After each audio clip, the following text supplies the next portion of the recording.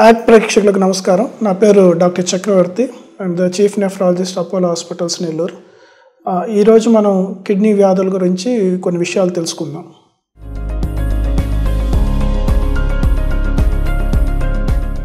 Doctor గారు kidney వ్యాధుల గురించి వివరించండి.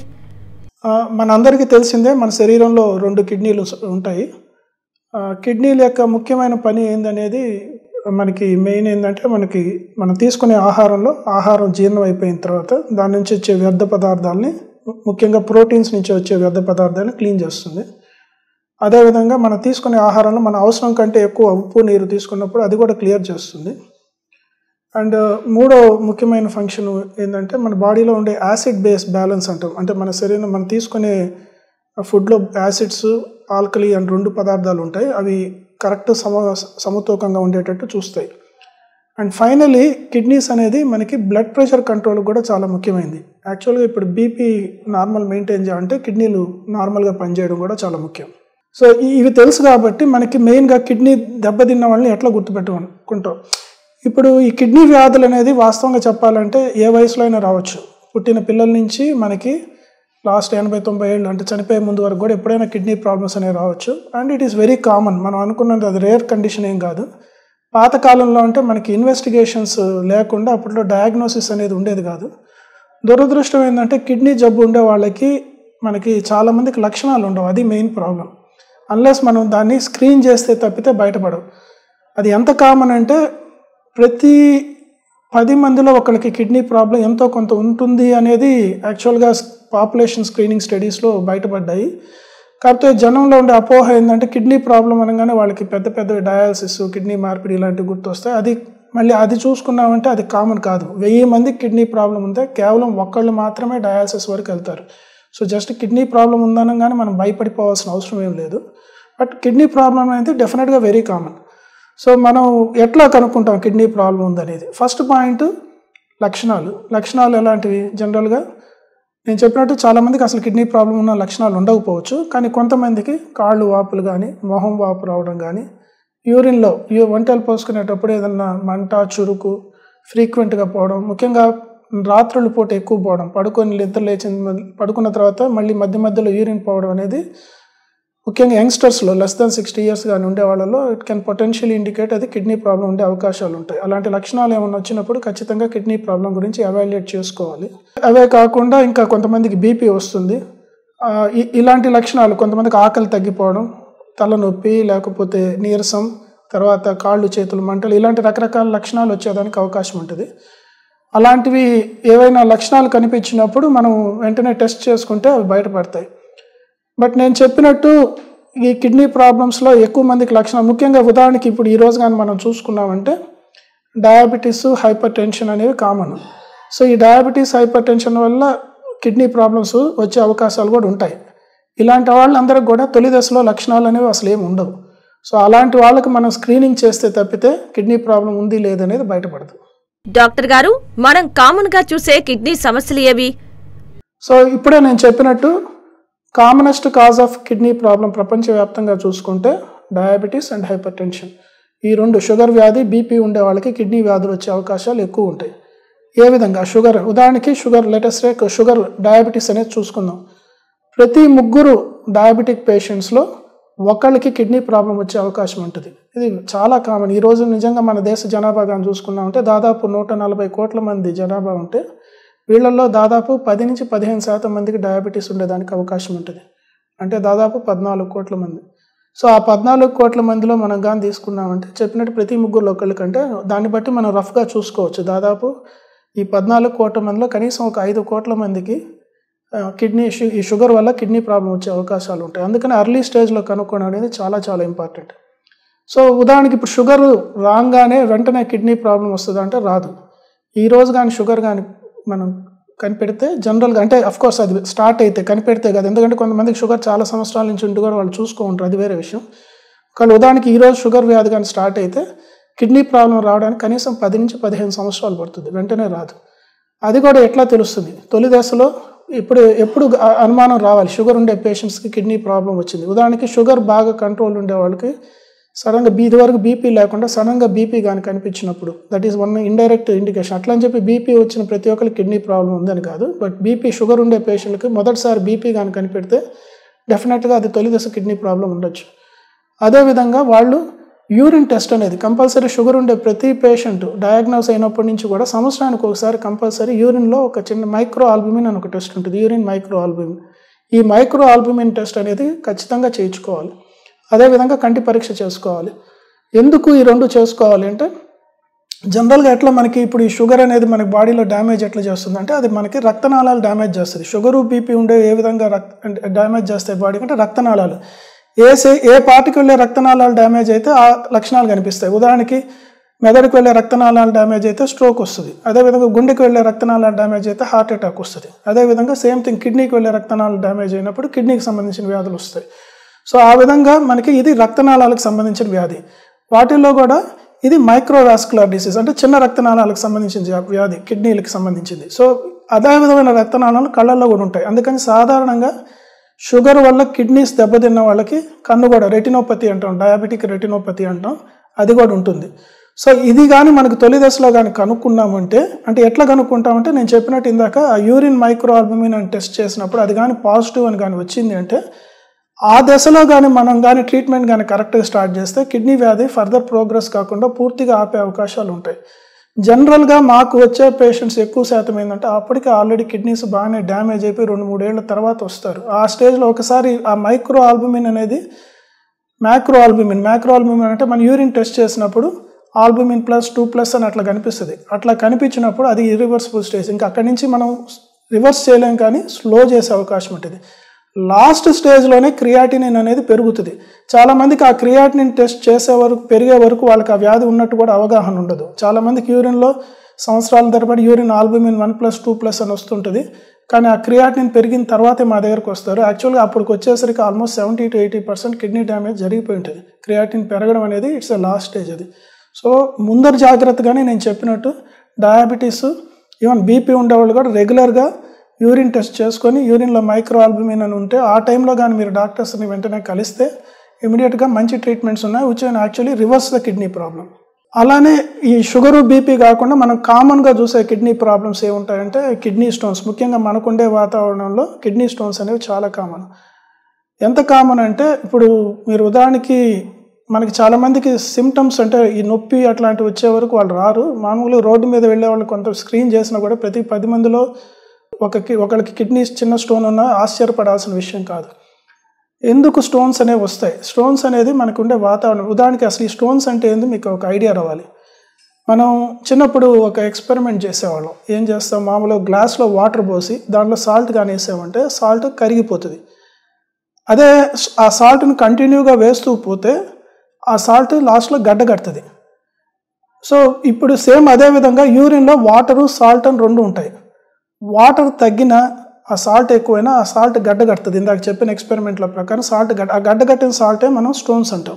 స్టోన్స్ అంటే ఇందాక చెప్పిన సాల్ట్ అది మామూలు మన సోడియం క్లోరైడ్ తినే ఉప్పు. ఇక్కడ ఇంకో different type of salt calcium oxalate uric acid అలాంటి వేరే సాల్ట్స్ బట్ ప్రిన్సిపల్ ఇదే.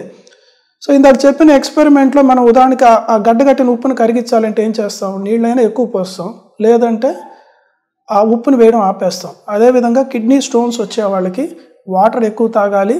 ఆ పర్టికులర్ స్టోన్స్ ఫామ్ అయ్యే టెండెన్సీ ఉండే ఫుడ్ని మనం అవాయిడ్ చేయాలి. ఇది మనం జనరల్గా చెప్పే ప్రికాషన్స్ సో కిడ్నీ స్టోన్స్ అనేవి ఎందుకు మనకు కామన్ అంటే ఆటోమేటిక్గా ఇక్కడ మనకు ఉండేది వేడి వాతావరణంలో కాబట్టి ఎక్కువ నీళ్ళు మనం తాగే నీళ్ళు చెమట రూపంలో బయటికి పోతాయి కాబట్టి మనకి యూరిన్లో వాటర్ కంటెంట్ తక్కువ ఉంటుంది.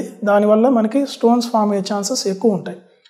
సో ఈ కిడ్నీ స్టోన్స్ అనేవి చెప్పినట్టు చాలా కామన్గా ఉంటాయి కానీ మనకు బయటపడవు. స్క్రీన్ చేస్తే తప్పితే ఓన్లీ అవి కిడ్నీలో నుంచి కిందకి జారినప్పుడు మాత్రమే యూరిన్ బయ ద్వారా అడ్డం పడినప్పుడు నొప్పి వచ్చి అప్పుడే లక్షణాలు వస్తాయి. Severe pain one of this అన్నిట్లో కన్నా పెయిన్ ఉండే కండిషన్స్లో కిడ్నీ స్టోన్స్ అనేవి జారినప్పుడు వచ్చే pain one of the severe form of pain అని చెప్తారు.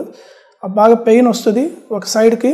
అదేవిధంగా యూరిన్లో బ్లడ్ పోవడం కానీ యూరిన్లో మంట రావడం ఇలాంటి లక్షణాలు వస్తాయి. అలా వచ్చినప్పుడు మీరు వెంటనే డాక్టర్ని కానీ కలిసినప్పుడు వాళ్ళు డయాగ్నోజ్ ఎట్లా చేస్తాం కిడ్నీ స్టోన్స్ అనేవి రెండు టెస్టులు ఉంటాయి. ఒకటి వచ్చేసి అల్ట్రాసౌండ్ టెస్టు అవసరమైతే సిటీ స్కాన్ అని చేస్తారు. ఆ స్టోన్ ఎక్కడ ఉంది అనే దాన్ని బట్టి వైద్యం అనేది ఉంటుంది. చా సాధారణంగా చిన్న స్టోన్స్ అంటే లెస్ దెన్ ఫైవ్ మిల్లీమీటర్స్ ఉండే స్టోన్స్ వాటంతట అవే కింద పడిపోతాయి. జనరల్గా ఒక టూ త్రీ డేస్లో పడిపోతాయి. మోర్ దెన్ టెన్ మిల్లీమీటర్స్ అంటే వన్ సెంటీమీటర్ కంటే ఎక్కువ ఉండే స్టోన్ పడదు. అది మనం అవసరమైతే ఆపరేషన్ చేసి తీయాల్సిందే. మధ్యస్థంగా ఫైవ్ టు టెన్ మిల్లీమీటర్స్ ఉండే stones fifty fifty percent chance ఉంటాయి పడేదానికి పడకపోవడానికి. సో మీకు ఎప్పుడైనా అలాంటి లక్షణాలు వచ్చినప్పుడు అంటే మనకి లాయిన్ పెయిన్ అంటాం సైడ్ నొప్పి వచ్చినప్పుడు అదేవిధంగా యూరిన్లో మంట లేకపోతే యూరిన్లో బ్లడ్ పోవడం హై గ్రేడ్ ఫీవర్ ఇట్ ఏమైనా వచ్చినప్పుడు వెంటనే డాక్టర్ గారిని కలిస్తే మీకు దానికి తగ్గట్టు డయాగ్నోస్ చేసి ట్రీట్మెంట్ అని అంటే కిడ్నీ స్టోన్ అనగానే అందరికి అపోహ అంటే ఆపరేషన్ అందరికి ఆపరేషన్ చేయం. నేను చెప్పినట్టు ఓన్లీ పెద్ద స్టోన్ ఉండి అది బయటకు రాకుండా ఇరుక్కుపోయినప్పుడు మాత్రమే ఆపరేషన్ చేస్తాం. అదర్వైజ్ రొటీన్గా అందరికీ ఆపరేషన్ చేయాల్సిన అవసరం లేదు. నెక్స్ట్ కామన్ ప్రాబ్లం మనం చూసేది యూరిన్ ఇన్ఫెక్షన్స్ అనేది. యూరిన్ ఇన్ఫెక్షన్స్ అనేది ముఖ్యంగా ఆడవారిలో చాలా కామన్ లైఫ్ టైంలో ప్రతి ఆడవాడికి ఒక ఇద్దరికి ఇద్దరు ప్రతి ఇద్దరు ఆడవాళ్ళలో ఒకరికి లైఫ్లో ఒకసారి యూరిన్ ఇన్ఫెక్షన్ వచ్చే అవకాశం ఉంటుంది. సో యూరిన్ ఇన్ఫెక్షన్ వచ్చే లక్షణాలు ఏంటంటే సేమ్ ఇంత ఇదివరకు లాంటి లక్షణాలు లైక్ యూరిన్ ఫ్రీక్వెంట్గా పోవడం మాటి మాటికి పోవడం ఒంటేలో బాత్రూమ్ పోయే లోపల వచ్చేయడం ఒంటేలో చురుకు లేకపోతే మంటలా రావడం లేకపోతే యూరిన్లో బ్లడ్ పోవడం పొత్తి కడుపు నొప్పి నడుము నొప్పులు చలి జ్వరం ఇలాంటివన్నీ కూడా యూరిన్ ఇన్ఫెక్షన్ ఉండే లక్షణాలు. సో యూరిన్ ఇన్ఫెక్షన్ వచ్చినప్పుడు మనం ఏం చేయాలి? ఆబ్వియస్లీ దానికి చిన్న సింపుల్ యూరిన్ టెస్ట్ ఒకటి చేస్తారు. దాంట్లో ఏదైనా పస్సెల్స్ పోతుంటే దాన్ని నెక్స్ట్ మనం కల్చర్ టెస్ట్ అనేది చేస్తాము. కల్చర్ టెస్ట్లో మనకి ఇన్ఫెక్షన్ ఉందా లేదా కన్ఫర్మ్ అవుతుంది. దానికి ట్రీట్మెంట్స్ అనేవి అండ్ అవసరమైతే కొంతమందికి స్కానింగ్ కూడా తీస్తారు. దాన్ని బట్టి ట్రీట్మెంట్ అనేది మారుతుంది. నేను చెప్పినట్టు ఆడవారిలో ఇన్ఫెక్షన్ కామన్ ఎప్పుడైనా సంవత్సరానికి ఒకటి రెండు సార్లు యూరిన్ ఇన్ఫెక్షన్ వచ్చినప్పుడు మనకి కల్చర్ టెస్ట్ కూడా లేకుండా డైరెక్ట్ యాంటీబయాటిక్స్ అనేవి ఇస్తాము. బట్ ఫ్రీక్వెంట్గా యూరిన్ ఇన్ఫెక్షన్స్ ప్రతి కొంతమందికి ప్రతి పదిహేను రోజులకు ప్రతి నెలకు ఒకసారి యూరిన్ ఇన్ఫెక్షన్స్ వస్తే మాత్రం వాళ్ళని కొంచెం డీటెయిల్గా ఎవాల్యుయేట్ చేసి ఎక్కడ ఎందువల్ల వస్తుందో కనుక్కొని దాని ప్రకారం మనం ట్రీట్మెంట్ అనేది చేయాలి. బట్ మగవారిలో యూరిన్ ఇన్ఫెక్షన్ మాత్రం చాలా అన్కామన్ మగవారిలో ఏ యూరిన్ ఇన్ఫెక్షన్ వచ్చినా కానీ దాన్ని డీటెయిల్గా ఎవాల్యుయేట్ చేయాలి. ముఖ్యంగా అరవై ఏళ్ళు దాటిన మగవాళ్ళలో కానీ లెస్ దెన్ వన్ ఇయర్ లోపల ఉండే పిల్లల్లో కానీ యూరిన్ ఇన్ఫెక్షన్స్ అనేవి రావు. వస్తే మాత్రం అది డెఫినెట్గా ఎక్కడో యూరిన్ ట్రాక్ట్లో ప్రాబ్లం ఉందని అప్పుడు దాన్ని ట్రీట్మెంట్ అనేది వేరేగా ఉంటుంది. And last but not least మనకు వచ్చే అదర్ కామన్ ప్రాబ్లమ్స్ కానీ చూసుకున్నామంటే డ్రగ్ ఇండ్యూస్డ్ కిడ్నీ ప్రాబ్లమ్స్ ఇది యాక్చువల్గా ఒక రకంగా చెప్పాలంటే చాలా కామన్ డ్రగ్ ఇండ్యూస్డ్ అంటే మందుల వల్ల.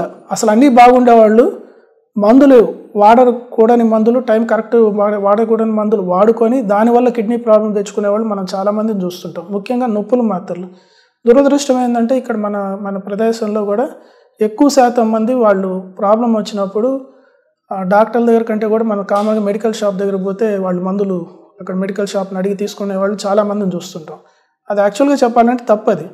అంటే మనకి ఈ మెడిసిన్స్ ఎప్పుడైనా సరే ఒకటి గుర్తుంచుకోవాల్సిందంటే మెడిసిన్స్ కానీ మనకి ఎంత మంచి చేస్తాయో అవి కానీ కరెక్ట్గా తీసుకోకపోతే అది ఈక్వల్గా చెడు చేస్తాయి. ఉదాహరణకి సింపుల్ పెయిన్ కిల్లర్స్. చాలా మంది పోయి కూడా కామన్గా మెడికల్ షాప్స్ పోయి తీసుకునేది పెయిన్ కిల్లర్స్. లేకపోతే గ్యాస్ ట్రబుల్ మాత్రలని ఓకే ఓమిప్రజాల్ అని ప్యాంటోప్రజాల్ అని విచ్చలవిడిగా వాడుతుంటారు. వాస్తవంగా ఈ రెండు మెడిసిన్స్ ఇప్పుడు క్లియర్లీ ప్రూవన్ ఎక్కువ రోజులు వాడినా ఉంటే ఈ నొప్పుల మాత్రలు కానీ గ్యాస్ ట్రబుల్ మాత్రలు వాటి వాళ్ళలో కిడ్నీ వ్యాధులు వచ్చే అవకాశాలు ఎక్కువ ఉంటాయి. సో దయచేసి కూడా మెడిసిన్స్ అనేది వితౌట్ డాక్టర్ ప్రిస్క్రిప్షన్ లేకుండా ఎప్పుడు కూడా వాడడం అనేది మంచిది కాదు. అదేవిధంగా కొన్ని రకాలైన బీపీ ట్యాబ్లెట్స్ కానీ లేకపోతే కొన్ని రకాలైన యాంటీబయాటిక్స్ వల్ల కానీ కిడ్నీ ప్రాబ్లం వచ్చే అవకాశాలు ఉంటాయి. సో ఇవి ఆబ్వియస్లీ టెస్ట్ చేస్తేనే మనకు తెలుస్తాయి. పాత కాలంలో ఇన్ఫెక్షన్స్ వల్ల కిడ్నీ అంటే ఈ గ్లోమరులార్ డిసీజెస్ అనేవి ఉండేవి బట్ రిలేటివ్గా తగ్గాయి. బట్ వాటిల్లో కూడా మనకి కొన్ని రకాల గ్లోమరులార్ డిసీజ్ వెస్టర్న్ లాగా ఐజీఏ నెఫ్రోపతి మెంబ్రేనస్ నెఫ్రోపతి అని మినిమల్ చేంజ్ డిసీజ్ అని ఫ్లో ఫోకస్ స్క్లీరోసిస్ ఇవి ఇవి కొన్ని టెక్నికల్ టర్మ్స్ ఇవి. ఇలాంటి కండిషన్స్లో కొంతమంది సఫర్ అవుతుంటారు. అవి వాటికి తగ్గట్టు మనం డయాగ్నోస్ చేసి ట్రీట్మెంట్స్ అనేవి తీసుకుంటుండాలి. డాక్టర్ గారు కిడ్నీ వ్యాధులు రాకుండా ఏమి చేయాలి? సో నేను చెప్పినట్టు కిడ్నీ వ్యాధులు ఏవైనా చెప్పాను కామన్ కిడ్నీ ప్రాబ్లమ్స్ అనేవి అవి రాకుండా ఉండాలంటే obviously for example simple thing మన డయాబెటీస్ హైపర్ టెన్షన్ అని చెప్పాను ఇంత కామన్గా వచ్చే kidney problem so diabetes hypertension మనం కానీ అవి కరెక్ట్గా కంట్రోల్ పెట్టుకుంటే ఆబ్వియస్లీ కిడ్నీ ప్రాబ్లమ్సే కాదు మిగతా కాంప్లికేషన్స్ వచ్చే అవకాశాలు కూడా తక్కువ ఉంటాయి. సో డయాబెటీస్ అనే వాళ్ళు ఏం చేయాలి? ఖచ్చితంగా రెగ్యులర్గా షుగర్ అనేది చెక్ చేసుకోవాలి. అది హాస్పిటల్ డాక్టర్ దగ్గరికి పోయినప్పుడే కాదు ఇంట్లో అయినా సొంతంగా గ్లూకోమీటర్ అనేది పెట్టి చెక్ చేసుకొని దాన్ని ఎప్పటికప్పుడు అవసరాన్ని బట్టి మందులు అనేది మారుస్తుండాలి. ఎందుకంటే మనం ఒకరోజు ఆహారం ఎక్కువ తినొచ్చు ఒకరోజు తక్కువ తినొచ్చు. దానికి తగ్గట్టు మనం మెడిసిన్ షుగర్ ఇన్సులిన్ నీడ్ అనేది కూడా బాడీలో మారుతుంటుంది. సో దానికి తగ్గట్టు మార్చగలిగితే that will be the best form. కానీ వాస్తవంగా దురదృష్టం ఏంటంటే అది అందరూ చేయలేరు. బట్ అట్లీస్ట్ మూడు నెలలకు ఒకసారి షుగర్కి సంబంధించిన ఒక టెస్ట్ హెచ్బిఏ వన్ సి అని ఉంటుంది. గ్లైకాసిలేటెడ్ హిమోగ్లోబిన్ దానికి ఇంకొక పేరు. అది లెస్ దాన్ సెవెన్ కానీ కంటిన్యూగా కానీ మెయింటైన్ చేయగలిగితే కాంప్లికేషన్స్ వచ్చే ఛాన్సెస్ తక్కువ ఉంటాయి. ఏదైనా సరే కిడ్నీ కానీ హార్ట్ కానీ మెదడు కానీ సో ఫస్ట్ థింగ్ షుగర్ ఉండే ప్రతి ఒక్క పేషెంట్ ప్రతి మూడు నెలలకి హెచ్బిఏవన్స్ అనే టెస్ట్ చేసుకొని అది లెస్ దెన్ సెవెన్ ఉండేటట్టు చూసుకోవాలి. దెన్ ఫాస్టింగ్ షుగర్ ఎప్పుడు కూడా వీలైనంత వరకు నూట పది లోపల ఉండాలి. పోస్ట్ ప్రాండియల్ అంటే తిన్న తర్వాత షుగర్ వీలైనంత వరకు నూట యాభై లోపల ఉండాలి. అది కానీ కన్సిస్టెంట్గా మెయింటైన్ చేస్తే ఆటోమేటిక్గా ఈ హెచ్బిఏవన్సీ టెస్ట్ అనేది సెవెన్ కంటే తక్కువ ఉంటుంది. అది షుగర్ వరకు. సెకండ్ బీపీ బీపీ అనేది పాతకాలం ఇప్పుడు కంటిన్యూగా బీపీ ఎంత నార్మల్ బీపీ అనేది స్టాండర్డ్స్ మారుతూ పోతున్నాయి. ఒకప్పుడు మనకి వన్ ఫార్టీ బై నైంటీ కంటే ఎక్కువ ఉండేవాళ్ళకి బీపీ అని చెప్పేవాళ్ళు. ఇప్పుడు ఆ స్టాండర్డ్స్ని తగ్గించుకుంటూ వచ్చి వన్ థర్టీ బై ఎయిటీ కంటే ఎక్కువ ఉన్నా కూడా హై బీపీ అని చెప్పడం ఇప్పుడు కొత్త గైడ్ లైన్స్లో వస్తున్నాయి. సో ఐడియల్గా వీలైనంత వరకు నూట ఇరవై ఆ లోపు పైది సిస్టాలిక్. వన్ ట్వంటీ పైన కిందది సెవెంటీ లోపల కానీ మెయింటైన్ చేయగలిగితే that will be the perfect BP. But వయసుతో పాటు అందరికి కూడా బీపీ అనేది పెరుగుతూ వస్తుంది. మనం వయసు పెరిగే కొద్దీ బీపీ అనేది జనరల్గా పెరుగుతూ వస్తుంది. బట్ నా పర్సనల్ సజెషన్ అయితే ఎవరికి కూడా ఖచ్చితంగా పైది అంటే నేను చెప్పేది కాంప్లికేషన్స్ లేని వాళ్ళకి పైది ఎప్పుడు బీపీ వన్ ఫార్టీ దాటకుండా కిందది నైంటీ దాటకుండా చూసుకోండి. కాంప్లికేషన్స్ ఉంటే ఉంటే ఉదాహరణకు ఆల్రెడీ కిడ్నీ ప్రాబ్లం వచ్చింది. వచ్చిన వాళ్ళకి మాత్రం ఖచ్చితంగా బీపీ ఎప్పుడు కూడా ఐడియల్గా వన్ ట్వంటీ బై సెవెంటీ ఉండేటట్టు చూసుకోవాలి. బట్ ఎట్టి పరిస్థితుల్లో కూడా పైది వన్ థర్టీ కిందది ఎయిటీ దాటకుండా చూసుకోండి. బీపీ కంట్రోల్ కానీ కరెక్ట్గా ఉంటే కిడ్నీ డిసీజ్ ప్రోగ్రెస్ అయ్యేది కూడా చాలా వరకు తగ్గిపోద్ది. అది చాలామంది ఆ తప్పు చేస్తారు. మేము మందులు వేసుకుంటున్నాం డాక్టర్ దగ్గరికి వెళ్తున్నాం మందులు వేసుకుంటాం వాళ్ళు మళ్ళీ మూడు నెలలకు ఆరు నెలలకు వచ్చి డాక్టర్ దగ్గర బీపీ చూపించుకుంటారు. ఈ మధ్యలో వాళ్ళ ఇంటి దగ్గర ఇంటి ఈరోజు బీపీ చెక్ చేయడం పెద్ద కాంప్లికేటెడ్ కాదు. ప్రతి ఒక్కళ్ళ షాప్లో మనకి బీపీ ఆటోమేటిక్ బీపీ మిషన్స్ అనేవి దొరుకుతున్నాయి. సో కట్ ఆ బీపీ మిషన్ ఒక వెయ్యి రూపాయలు పదిహేను వందలు అవుతుంది. అది మీరు కొనుక్కొని మీరు ఇంటి దగ్గర కానీ బీపీ చూసుకొని బీపీ ఎప్పుడు కూడా వన్ థర్టీ బై ఎయిటీ లోపల కానీ మెయింటైన్ చేయగలిగితే ముఖ్యంగా కిడ్నీ ప్రాబ్లమ్స్ హార్ట్ ప్రాబ్లం ఉండేవాళ్ళు ఇలాంటి వాళ్ళు కానీ కంటిన్యూగా మెయింటైన్ చేయగలిగితే ఫ్యూచర్లో వాళ్ళకి ఆ జబ్బు పెరగకుండా ఉంటుంది. అది చాలా చాలా ఇంపార్టెంట్ పాయింట్. చాలామంది అది నెగ్లెక్ట్ చేస్తారు. సో బీపీ కంట్రోల్ అనేది ఇంపార్టెంట్. అఫ్ కోర్స్ కొంతమందికి కొన్ని ఎక్సెప్షన్స్ ఉంటాయి. అంటే వయసు పెరిగే కొద్ది ఉదాహరణకి మెదడు ప్రాబ్లం ఉంది బ్లడ్ సర్క్యులేషన్ ఉండేవాళ్ళు. అలాంటి వాళ్ళకి అప్ టు వన్ ఫిఫ్టీ వరకు కూడా కొన్నిసార్లు యాక్సెప్ట్ చేసే సందర్భాలు ఉన్నాయి. బట్ ఏదైనా సరే డాక్టర్ అడ్వైస్ ఎట్లా చెప్తారో ఆ విధంగా మీరు బీపీ మెయింటైన్ చేయగలి ఇంపార్టెంట్ అదేవిధంగా ఇంకా కిడ్నీ వ్యాధులు రాకుండా ఇంకేం జాగ్రత్తలు తీసుకోవాలి. ఇంకోటి కామన్ ప్రాబ్లం ఒబేసిటీ లావ్ అనేది. స్థూలకాయం అనేది మనం చాలా చాలా కామన్ అయిపోయింది ఈరోజు సొసైటీలో మనం ఒక ముప్పై ఏళ్ళు యాభై ఏళ్ళ క్రితం చూస్తే మన దేశంలో ఒబేసిటీ అనేది చాలా తక్కువ ఉండేది. అప్పట్లో ఎందుకంటే అందరూ కాయ కష్టం చేసేవాళ్ళు. రైతులు ఎక్కువ మంది ఫిజికల్ వర్క్ అనేది ఉండేది. దురదృష్టం ఏంటంటే ఇప్పుడు ఫిజికల్ వర్క్ అనేది లిటరల్గా పోయింది. అందరూ కూడా ఒక లైఫ్ స్టైల్ మారిపోయింది. అంతా మొబైల్ ఫోన్స్ అయితే ఏమి స్విగ్గీ యాప్లు అని కానీ లేకపోతే ఏ చిన్న విషయం కొంచెం దూరం పోవాలని వెంటనే బైక్ స్కూటర్ తీయడం కానీ ప్లస్ దానికి తోడు ఈ డైట్ ఈ జంక్ ఫుడ్ అనేది ఎక్కువ అవ్వడం కానీ ఇవన్నీ కూడా ఎంత తెలియకుండా ఎంత డ్యామేజ్ చేస్తున్నాయో మీకు తెలియవు ఎందుకంటే ముఖ్యంగా ఈ చిన్న వయసులో తినేటప్పుడు తెలియదు. But once you cross forty years నలభై ఏళ్ళు దాటిన తర్వాత దాని ఎఫెక్ట్స్ అప్పుడు స్టార్ట్ అవుతాయి. సింపుల్గా మన బాడీ వెయిట్ ఎంత ఉండాలి? ఐడియల్ వెయిట్ ఉదాహరణకి మీరు ఒక వన్ సెవెంటీ సెంటీమీటర్స్ హైట్లో ఉన్నారనుకోండి. సో మీ ideal body weight seventy kgs ఉండాలి. Minus hundred one eighty centimeters ఉండే అంటే సిక్స్ ఫుట్ ఉండే వాళ్ళకి మైనస్ హండ్రెడ్ అంటే ఎయిటీ కేజీస్ ఉండాలి. అది ఐడియల్ బాడీ వెయిట్ మీరు ఏమి చేయలేదు యాక్చువల్ చెప్పాలంటే ఒక వెయింగ్ మిషన్ కొనుక్కోండి. అందరి ఇళ్ళలో ఒక వెయింగ్ మిషన్ కొనుక్కోండి. రోజు పొద్దున్న నిద్ర లేవగానే బరువు చూడండి. ఆ బరువు చూస్తూ మీరు ఉండాల్సిన వెయిట్ కంటే ఎంత ఎక్కువ ఉన్నారో ఒకసారి గమనించండి. మీ target atleast daily morning weight చూస్తే ఫస్ట్ పెరగడం ఆగిపోతారు. తగ్గడం సంగతి అది పెరగడం ఆగిపోతారు. అట్లీస్ట్ మనం ఉండాల్సిన దానికంటే ఎక్కువ ఉన్నది ఖచ్చితంగా ప్లాన్ చేసుకోవాలి. వెయిట్ తగ్గడం అంత ఈజీ కాదు. వాటిల్లో అండ్ ఇంకోటి ఏంటంటే చాలామంది మేము వాకింగ్ చేస్తున్నాం ఎక్సర్సైజ్ చేస్తున్నాం అయినా మేము బరువు తగ్గట్లేదు అంటారు ఎందుకంటే ప్రాబ్లం ఏంటంటే వాళ్ళకి ఫుడ్ కంట్రోల్ ఉండదు. ఒకటే గుర్తుంచుకోవాల్సింది. మీరు సీరియస్గా బరువు తగ్గాలి అనుకుంటే గుర్తుపెట్టుకోవాల్సింది ఎయిటీ పర్సెంట్ ఫుడ్ తగ్గించాలి ట్వంటీ పర్సెంటే ఎక్సర్సైజ్ పనిచేస్తుంది జస్ట్ మీరు ఎంతసేపు ఎక్సర్సైజ్ చేసినా ఫుడ్ కానీ కంట్రోల్ చేయలేకపోతే ఎక్సర్సైజ్ అంతా వేస్ట్. సింపుల్ చెప్తాను మీరు ఒక గంట సేపు నడిచి ఒక కోకో కోలాను ఒక థమ్స్అప్ కూల్ డ్రింక్ తాగారనుకోండి ఆ గంట సేపు చేసిన ఎక్సర్సైజ్ అంతా పోయింది. సో ఇంపార్టెంట్ ఫుడ్ తగ్గించడం అనేది చాలా చాలా ఇంపార్టెంట్. ఫుడ్ క్యాలరీస్ ఇంటేక్ తగ్గించకపోతే వెయిట్ తగ్గే ప్రసక్తే లేదు. సో ఇప్పుడు వాటిల్లో కూడా కొన్ని మెథడ్స్ వచ్చాయంటే ఇంటర్మీడియట్ ఫాస్టింగ్ అనేది మీరు వినుంటారు చాలామంది. వాటిల్లో ఈవినింగ్ సెవెన్ తర్వాత ఫుడ్ తినడం ఆపేసేయండి. ఈవినింగ్ సెవెన్ తర్వాత ఫుడ్ తినడం ఆపి నెక్స్ట్ డే మార్నింగ్ నైన్ వరకు రఫ్లీ ఒక సిక్స్టీన్ అవర్స్ టైం వస్తుంది. ఒక fourteen hours or if possible sixteen hours కానీ ఎక్స్టెండ్ చేయగలిగితే డెఫినెట్గా మీ మెటబాలిజంలో బాడీ మెటబాలిజంలో చేంజ్ చేసి వచ్చి కేవలం మీ diet style of food eating అనేది చేంజ్ చేసిన దానివల్ల వెయిట్ తగ్గుతారు. ఆ తర్వాత రైస్ కొన్ని ఐటమ్స్ ఉన్నాయి. ఆ ఐటమ్స్ అన్నీ కూడా వెయిట్ పెట్టి చేయడానికి ఎక్కువ అవకాశాలు. పాతకాలంలో అన్నం బియ్యం అనేది ఫిజికల్ యాక్టివిటీ ఎక్కువ ఉంది కాబట్టి వాళ్ళకి ఆ రోజు ఆ డైట్ సరిపోయింది. కానీ ఇప్పుడు ఫిజికల్ యాక్టివిటీ లిటరల్ లేనప్పుడు రైస్ అనేది high glycemic index food so మీరు గూగుల్ కానీ చేస్తారంటే హై గ్లైసిమిక్ ఇండెక్స్ ఫుడ్స్ అనేవి వస్తాయి. అవి కంపల్సరీ అవాయిడ్ చేయండి. వాటిని లో గ్లైసిమిక్ ఇండెక్స్ ఫుడ్స్ అంటే ఏవేమైనా వస్తాయి. అవి ఎక్కువ తీసుకోండి. సింపుల్ అంతకంటే ఏం చేయలేదు మీరు. So intermediate fasting evening seven తర్వాత ఎట్టి పరిస్థితులు ఏం తినకుండా ఆ తర్వాత మ్యాక్సిమం ఒక వాటరో లేకపోతే ఏదన్నా మజ్జిగ మ్యాక్సిమం తాగితే అంతకంటే తాగకుండా చూసుకొని నెక్స్ట్ డే మార్నింగ్ లెవెన్ ఐడియల్గా అయితే లెవెన్ సిక్స్టీన్ అవర్స్ వస్తుంది. So morning eleven to evening seven మీరు ఏ ఫుడ్ తీసుకోవాలని తీసుకుంటే హండ్రెడ్ పర్సెంట్ మీరు వెయిట్ తగ్గుతారు. Over a period of time and important is consistency ఎందుకు వెయిట్ తగ్గాలి? వెయిట్ కానీ తగ్గారంటే now it is clearly proven actually diabetes and hypertension are reversible diseases provided you lose weight ఇవన్నీ కూడా lifestyle diseases diabetes hypertension ఇవన్నీ కూడా life style అంటే బరువు పెరిగినందువల్ల. And obviously ఎప్పుడైతే బరువు తగ్గుతారో చాలా మందికి షుగర్ బీపీకి పూర్తిగా మందులు ఆపేసిన సందర్భాలు కూడా ఉన్నాయి. సో అందుకు అంటే మీ ప్రొవైడెడ్ మీరు ఐడియల్ వెయిట్కి వచ్చినప్పుడు పూర్తిగా మందులు ఆపచ్చు లేదంటే అట్లీస్ట్ మందులు తగ్గించవచ్చు సో డెఫినెట్గా weight reduction makes a huge difference and ఇంకోటి ఇంపార్టెంట్ నలభై యాభై ఏళ్ళు దాటిన తర్వాత మోస్ట్ ఇంపార్టెంట్ మనకు వచ్చే ప్రాబ్లం మోకాళ్ళ నొప్పులు.